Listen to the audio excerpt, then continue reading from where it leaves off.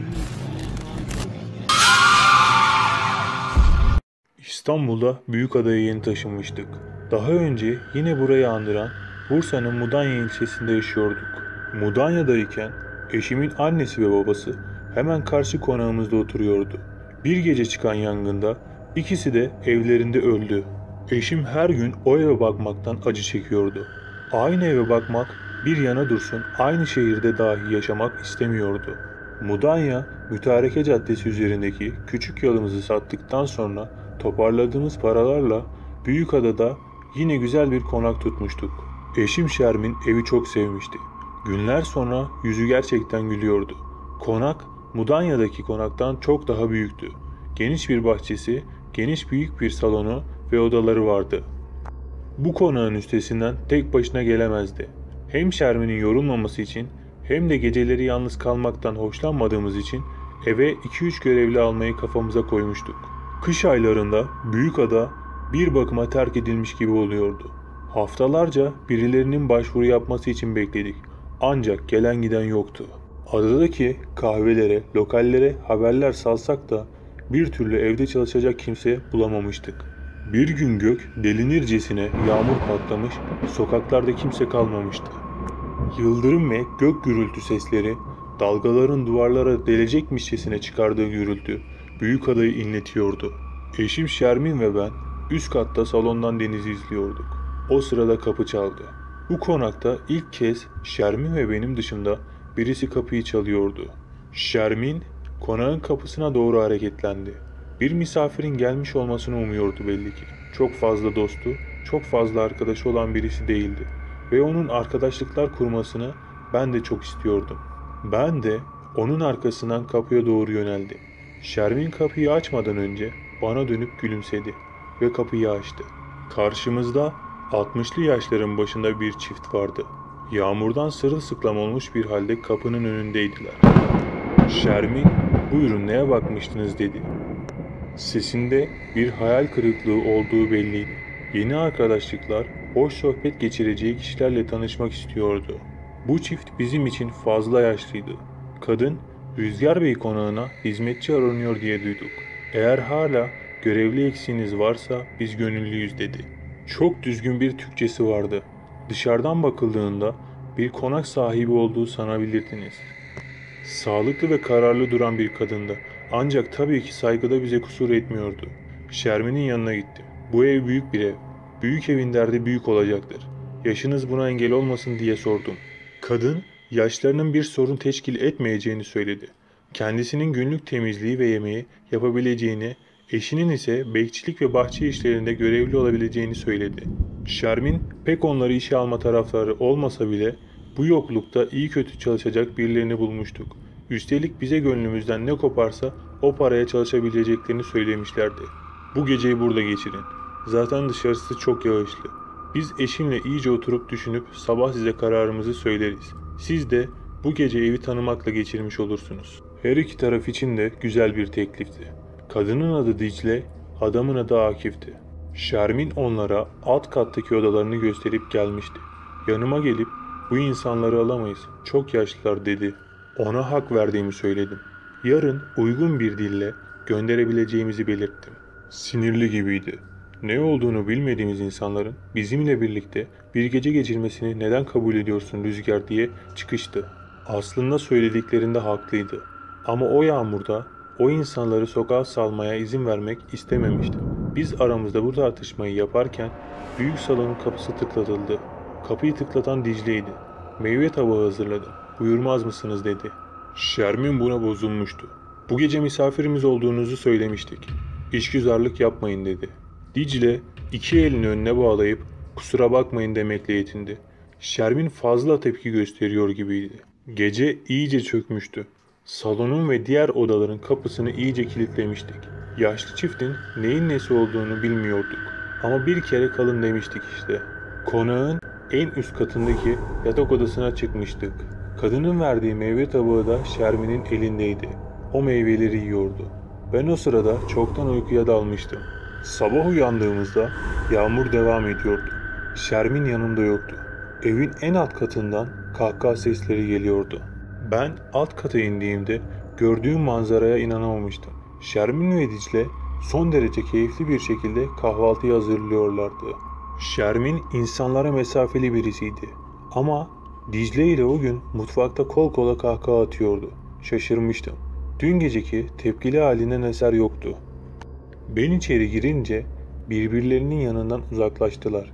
Dicle yemek yapmaya devam ediyordu. Az önce olanları gülerek izleyen Akif de masanın tozunu almaya başlamıştı. Şermin'i yanıma çağırıp dünden bugüne bu kadar değişmesine neyin sebep olduğunu ve bilmediğim bir şeyin var olup olmadığını sordum. Bu sabah çok güzel bir güne uyandığını ve herkesi çok sevdiğini söyledi. Aslında yıllardır onu bu kadar sevecen bir halde görmemiştim. Ama sanki bir gariplik varmış gibiydi. Onları işe alalım tamam mı Rüzgar dedi. Önemli olan onun içine sinmesiydi ve Şermin mutlu gözüküyordu. Nasıl istersen öyle olsun dedim. Gülümsedi. Şermin onların yanına mutfağa gitmişti. Ben de kapının önündeki gazeteleri almaya gittim. Ancak Akif çoktan alıp büyük salona bırakmıştı bile. Gazeteleri okuyordum. Alt kattan gülüşmeler kesilmiyordu. Büyük salonun kapısını tıklatan Akif'ti. Kahvaltı hazır dedi. Kahvaltıdaki salondaki masada olmayacak mı? diye sordum. Şermin Hanım hep beraber yememizi istedi dedi. Şaşırmıştım. Aslında güzel bir davranıştı. Ama Şermin her zaman çalışanları ile arasında mesafe koymaktan hoşlanan birisiydi. Şaşkın bir şekilde merdivenleri inmeye başladı. Görkemli bir kahvaltı hazırlanmıştı. Sofrada bir tek kuş sütü yoktu. Oturup yemek yemeye başladık. Kahvaltı başlamıştı. Ben Şermin'in yanına oturuyordum. Akif ve Dicle de yan yana oturuyorlardı. Yemeklerimizi yerken Dicle bizler hakkında sorular sormaya başladı. Konakta hep iki kişi mi yaşayacaksınız? Aile büyükleriniz ya da kardeşleriniz gelecek mi diye sordu. Ben kimsenin gelmeyeceğini söyleyecektim ki Şermin lafa atıldı. Hayır hep bu şekilde olacağız dedi. Zaten ikimizin de kimi kimsesi yoktu. Ama Şermin lafı bana bırakmıyordu bir türlü. Dicle'nin soruları devam ediyordu. Yakında bir evlat sahibi olabilirsiniz umarım dedi. Şermin bu sefer bir şey dememişti. Moralinin bozulduğu belliydi. Dicle Hanım, Şermin ile benim çocuğumuz olmuyor. Bu bahsi kapatabilir miyiz dedim. Kadın bozulmuştu. Kocası Akif ona dirseğiyle dokunup kapat çeneni der gibi bir ifade takındı. Dicle özür dilemişti. Şermin yüzüne yalandan bir gülümseme takınıp önemli değil demekle geçiştirdi. O gün yağmur yine gün boyu devam etti. Akif ve Dicle'ye işe alındıklarını kahvaltıdan sonra söylemiştik. Ceplerine bir miktar para koyup onları Büyükada pazarına yolladım. Evde yemeklik pek bir şey yoktu. Şermin'le büyük salonda oturup sohbet etmeye başladık. Şermin'e bu ani ruh değişiminin nedenini sordum. Dicle'ye birden kanının ısındığını ve işlerini iyi şekilde yapacak insanlar olduklarını söyledi. Dediklerinde haklıydı. İşlerini iyi yapıyorlardı ve gerçekten kanı ısınmıştı. Biz bize konuşurken bir gariplik yoktu. Biz konuşmaya devam ederken alt kapı açıldı. Dicle ve Akif'in geleceğini düşünüyorduk. Üst kattan seslendik. Ses gelmedi. Şermin merdivenlerden aşağıya indi. Ses hala yoktu. Ben de arkasından indim. Merdivenlerde karşılaştık. Şermin alt kata inmeye korkuyordu. Ben merdivenleri indiğimde sokak kapısı açıktı. Ancak ne içeriden ne de dışarıdan bir ses gelmiyordu. Kapıyı kontrol etmeye gittiğimde kapıda kan kırmızısı bir renk olduğunu fark ettim. Boyaydı ama boya kokusu yoktu üstünde. Hatta herhangi bir kokusu yoktu. Dışarıdan birisi görse kesinlikle kan sanabilirdi. Değişik bir işaret vardı. Bir yuvarlağın içinde bir nokta vardı. Bu noktanın tam ortasında da siyah bir nokta. Şermin aşağıya inmeye korkup yukarı çıkmıştı. Hırsızlar ve kundakçılar onu çok korkuturdu. Ben bu işarete dikkatlice bakarken birden Akif'in sesini duydum. Bu bir uyarı dedi. Arkamı döndüğümde Akif ve Dicle de benim gibi o işarete bakıyordu. Dicle birden evin içine girip mutfağa doğru yöneldi. Ben Akif'le kalmıştım. Ne demek bu bir uyarı dedim. Genelde geceleri zina olan, günahlar işlenen, içki içilen evlere çizerler. Ancak neden böyle bir şey yapsınlar anlamadım dedi. Ben de anlamamıştım, şaşırmıştım. Çünkü Büyükada halkı son derece saygılı ve nezih insanlardan oluşuyordu. Üstelik o söylenen şeylerin benim evimde yapılması imkansızdı. Akif bana dönüp Nalbur'dan aynı renkte boya alıp kapıyı boyarım. Dert edinmeyin dedi ve gitti. Ama bu olay canımı sıkmıştı. Üst kata çıktım. Şermin meraklı gözlerle bana bakıyordu. Ne oldu diye sordu.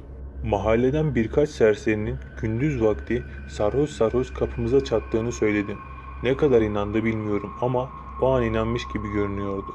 Kapıya bir köpek dikmemizin iyi olabileceğini söylemişti. Bu fikir benim de aklıma yatmıştı. Hem geceleri bu ıssız konağı korur hem de bize arkadaşlık edebilirdi. Gün içinde sokağa çıktık. Şermin yağmurda yürümeyi severdi. Adadaki balıkçılardan birinin önünde durduk. Limanda yavrulayan köpek var mı diye sorduk. Ne için diye cevap verdi. Şermin evde beslemek için dedi. Balıkçı yanımıza geldi ve yeri tarif etti. Orada henüz bir yaşına gelmiş bir kurt köpeğinin olduğunu ve evlat edinmek için bir miktar para vermemiz gerektiğini söyledi. Biz Şermin ile gidip köpeği aldık. Akıllı uysal bir hayvana benziyordu.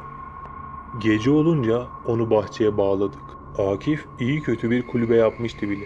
Dicle ise köpeğin yanına hiç gitmemişti. Hatta köpeğin değdiği yağmurluğuma bile elini sürüp askıya kaldırmamıştı. Gece iyice çökmüştü. Günün yorgunluğunu atmak için herkes erkenden çekilmişti odalarına. Pencereden köpeğe baktım. Gayet rahattı. Akiflerin odalarının lambası da yanıyordu. Bir sıkıntı olmazdı. Şermin uyumaya geçmişti bile. Ben de yanına kıvrıldım. Gece saat 2 gibiyken Şermin'in yanımdan kalktığını ve lavaboya gittiğini hissettim. O an uyku sersemiydim. Ancak bir yerden sonra uykum açıldı ve Şermin hala yanımda değildi. Lavabonun ışığı hala yanıyordu. Kalkıp lavaboya göz atmaya gittim. Şermin sadece aynaya bakıyordu. Aynada kendi gözlerinin içine bakıyordu ve dişlerini sıkıyordu. Ben lavabo kapısından başımı içeriye uzattığımda o uyku sersemi hali geçti ve birden korkuyla zıpladı. Ne yapıyorsun burada Şermin dedim. Uyku sersemi öylece dalmışım aynaya karşı dedi. Bir gariplik yok gibiydi konuşmalarında.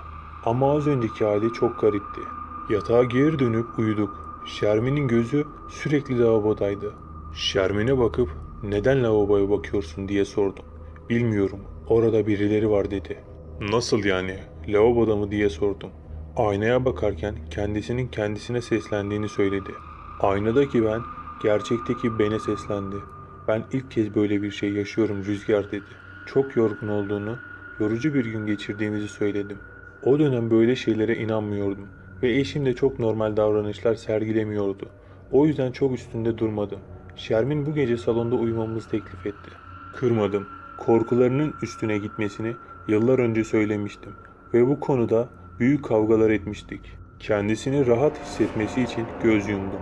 Salona inerken konağın kapısının önünde bir iki kişi olduğunu gördüm. Şermin merdivenlerden inmişti. Alt kattan ne oldu diye seslendi.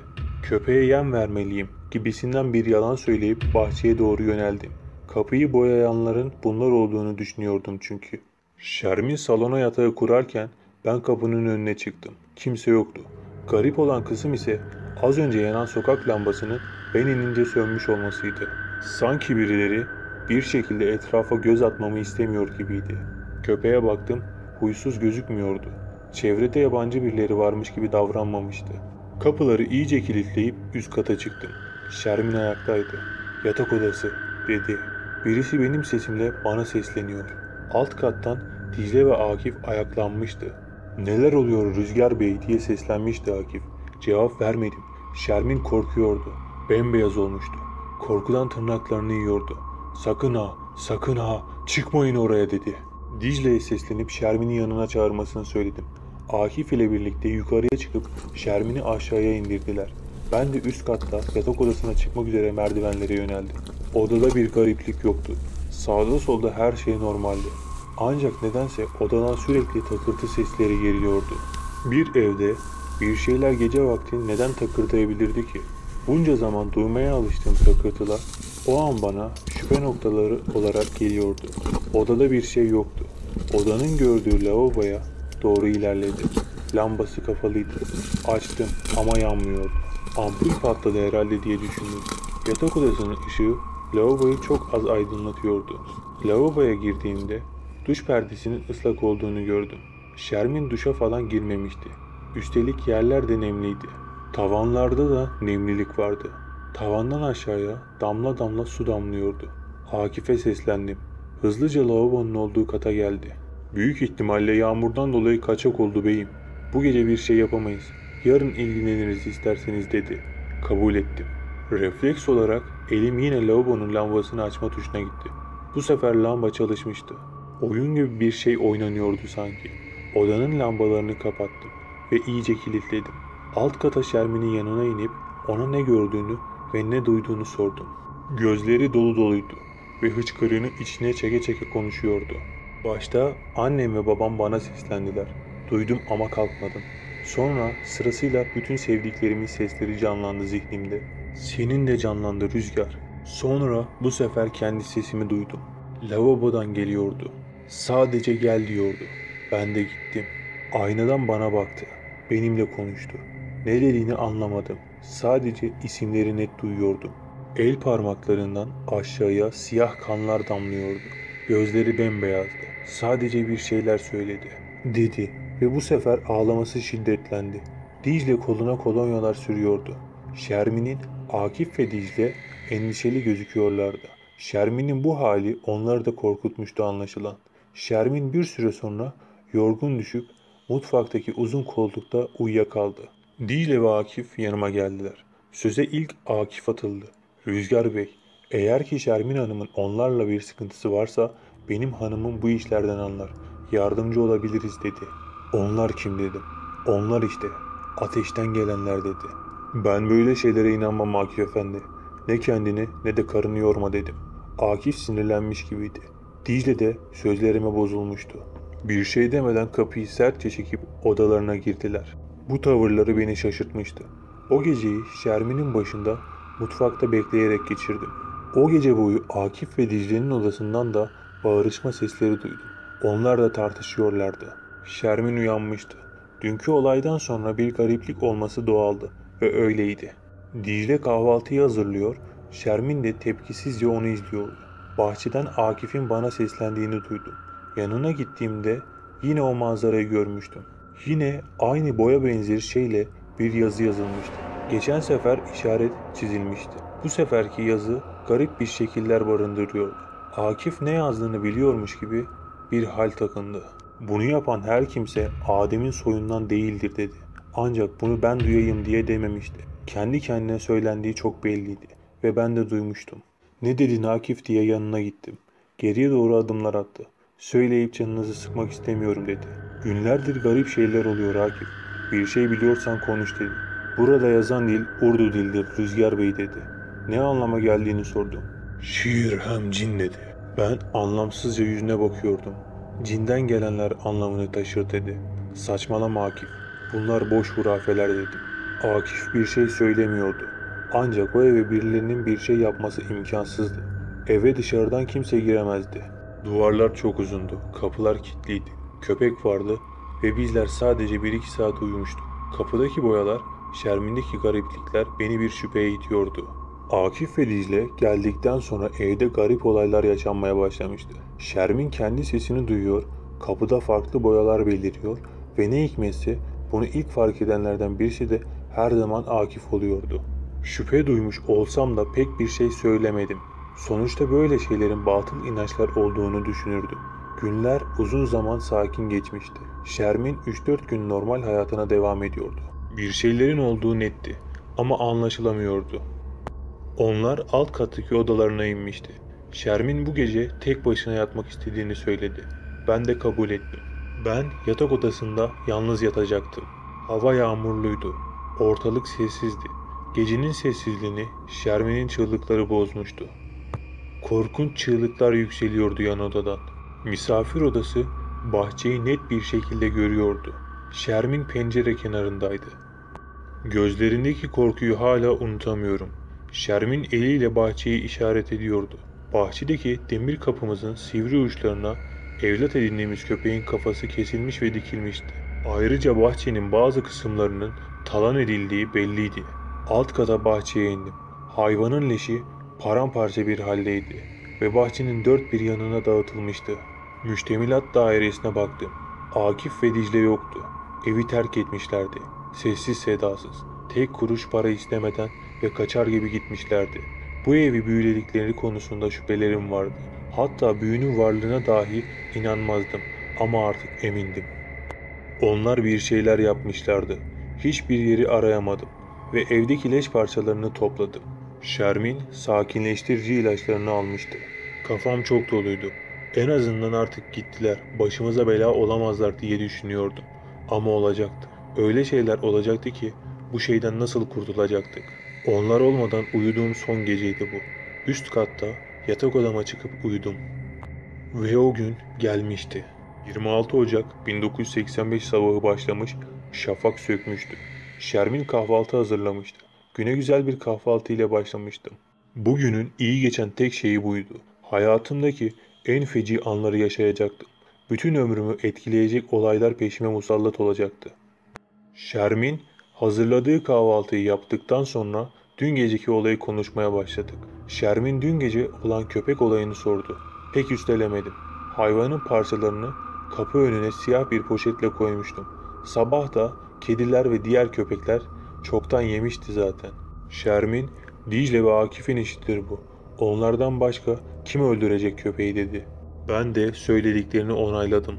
Başka kim nasıl yapabilirdi ki? O gün hayatımın en büyük hatalarından birisini yapıp adaya pazara inmiştim. Şermin evde yalnız kalmıştı. Giderken kapıyı iyice kilitlemiştim. Ancak aldığım bu önlem yetmeyecekti tabii ki. Öğlen 2-3 gibi gittiğim pazardan saat 6'da dönmüştüm. Adada iyi zaman geçirmiştim. Balık ve küçük rakıyı da almıştım. Her şeyin düzelmesini umuyordum. Şermin yeni ev ve yeni bir hayat tek istediğim buydu. Konağın kapısından içeri girdim. Hava kararmıştı. Bahçedeki salıncakta Şermin'in sallandığını gördüm. Gözleri ağaca takılmış, öylece bakıp ağır ağır sallanıyordu. Hoş geldin rüzgar dedi. Ne yapıyorsun burada Şermin dedim. Yüzüme bakıp gülümsedi. Dinleniyorum dedi. Elimdekileri dolaba bırakıp birazdan yanına geleceğimi söyledim. Eve girdim. Mutfaktan bir ses geldi. Hoş geldin hayatım. Geciktim biraz. Şermin'in sesiydi. Dona kalmıştım. Bir şey diyememiştim. Şermin karşımda öylece yüzüme bakıyordu. Kafamı mutfak penceresinden uzatıp kapı önündeki salıncağa baktım. O sırada arkamda bir ürperti hissettim. Salıncak boştu. Ama arkamdaki ürperti neydi? Bu iki saniyelik ürperti hayatımın en korkunç anına denk gelecekti. Hızlı bir bıçak darbesi. Bıçak sağ kolumu sıyırmıştı. Ancak ince bir kesik atmıştı. Şermin'in elindeki bıçak ve büyük bir sinirle bana bakıyordu. Şiramen, Şiramen, Şiramen. diyordu. Senin yüzünden demekti bu. Benim yüzümden neydi? Elindeki bıçağı bir yandan gülerek bana savuruyor, diğer yandan ağlıyor ve benden yardım istiyordu. Bembeyaz kesilmişti. Göz altları hızla morarıyor ve damarları iyiden iyiye belirginleşiyordu. Bıçağı güç bela elinden almaya kalkışsam da başarılı olamadım. O anki korku ve gerilim ile bir şey yapamıyorsunuz ve sevdiğinize zarar vermekten korkuyorsunuz. Bir yerde okuduğum eğer bir cinin saldırısına uğrarsanız beş besmele ile şehadet getirin deniyordu. Güç bela onu okuyup büyük salona doğru koştum. Yerde mumlar ve kesik camlar vardı. Şermin ağır adımlarla merdiveni çıkıyordu. Elime ben de bıçak almıştım. Kendimi savunmak zorundaydım. Ağır ağır çıkıyor olsa bile onun attığı her adımda ben kas katı kesiliyordum. Ve birden büyük bir hızla yanıma gelmişti. Şermin gibiydi ama değildi. Gözleri bembeyazdı. Ufacık bir göz bebeği vardı. Nokta kadardı. Elleri üstü et kokuyordu. Yere düşmüştüm. Son kuvvetim ile uzağıma düşen bıçağa uzanıp karımı öldürmek istiyordum. Ama olmamıştı. Yüzüme kesikler atmıştı. Evin dört bir yanından çığlık sesleri yükseliyordu. Şermin'in sesi değildi bu. Büyük bir öfkeyle yüzüme ince ve uzun bıçak kesikleri atıyordu. Envellah şimcin, envellah şimcin. Bu kelimenin anlamı cinin kanına bedel. Evde bu sesler yankılanıyordu. Ölümü bekliyordum. Üstümde karımın suretinde olan bu şey birden durmuştu. Evin merdivenlerinde o iki kişiyi gördüm. Akif ve Dicle'ydi bunlar. Akif bir şeyler okuyup Dicle'nin elindeki bez bebeği yerde duran mumların yardımıyla ateşe verdi. O bunu yaptıktan sonra Şermin'in çığlıkları evi daha da inletmeye başladı. Sanki deprem oluyordu. Ama bu deprem sadece Rüzgar Bey konağında hissediliyordu. Evin içinde büyük bir sarı ışık olduğunu hissediyordum ve sonrasında ne oldu ve ne bitti bilmiyordum. Uyandığımda güneş doğmak üzereydi. Akif ve Dicle'nin olduğu yerde küller vardı. Başka bir şey yoktu. Şermin ise yerde öylece ağlıyordu. Yüzümde kuruyan kan nedeniyle konuşmakta güçlük çekiyordum. Göz kapaklarım da zarar görmüştü. Güneş ışıkları arttıkça acıdan duramıyordum. Polis soruşturmasında Akif ve Dicle adında nüfusta böyle kişilerin dahi olmadığı açığa çıktı. Onlardan kalan kül örneğini bir alime gösterdiğimizde ise bunun Hüddam soyundan iki cinin olduğunu ve amaçlarının beni ve eşimi korumak olduğunu söyledi. Her ne kadar şikayetçi olmadığımı söylesem de Şermin polisleriyle gitmişti. Onu bir yıl sonra görebilmiştim. Hapishane yetkilileri akli dengesinin yerinde olmadığı için oradan hastaneye gönderildiğini ve beyne elektrik verme gibi pek çok yöntem uygulansa da akli dengesinin bir daha geri getirilemediğini söylediler. Ben ise kesik bir yüz ve her zaman eksik bir hayat ile yaşama tutunmaya çalışıyorum. Gözlerimi kaybettim. Rüzgar Bey konağı bugün terk edilmiş bir halde. Evi satın alan iki kişi de satın aldıktan sadece bir ay sonra satılığa çıkardı. Evin restorasyon çalışmasında bulunan kişilerin geceleri evde gecelikli bir kadının ve elinden tuttuğu bir kız çocuğunun dolandığını söylüyor. Şermin Hanım'ın son durumu hakkında net bir bilgi yok. Hastanede de hapishanede de kayıtlar silinmiş durumda. Faili meçhul bir şekilde hapishanede öldürüldüğü düşünülüyor. Rüzgar Bey ise yaşantısına iki gözünü kaybetmiş bir halde İzmir Gazemir'de sürdürüyor. Bu hikayedeki Rüzgar Bey konağının ismi temsilidir. Gerçek büyük odadaki konağın ismi verilmemiştir. Bir sonraki hikayede görüşmek üzere. Kanala abone olmayı unutmayın.